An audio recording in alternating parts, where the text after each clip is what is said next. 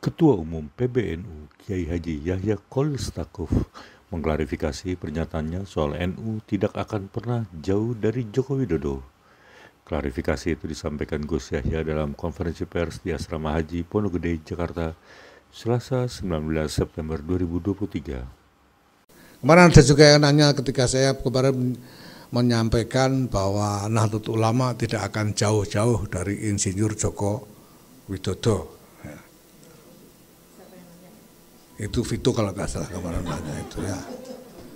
Ya kemarin sudah saya sampaikan ya, ya kenyataannya sudah tidak mungkin jauh-jauh sekarang Nahdlatul Ulama punya gerakan keluarga maslahat NU dan Insinyur Haji Joko Widodo adalah salah seorang dewan pengampunya gimana bisa jauh karena beliau nanti yang akan memberikan evaluasi, memberikan arahan dan seterusnya.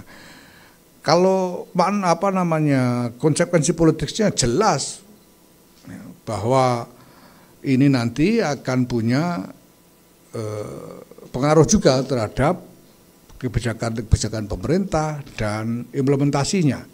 Seperti sekarang misalnya eh, semua kementerian terdorong untuk menggunakan ya, peluang yang disediakan NU ini untuk membawakan eh, kebijakan agenda-agenda dari kementerian itu kepada basis.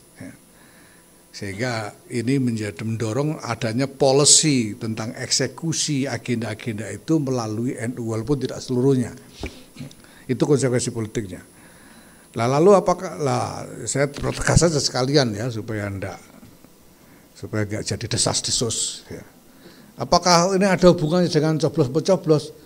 Ya kan Insinyur Joko Widodo bukan pihak. Sudah tidak bisa nyalon lagi dan seterusnya gitu ya. Jadi sudah tidak relevan saya kira ya untuk dipertanyakan soal itu.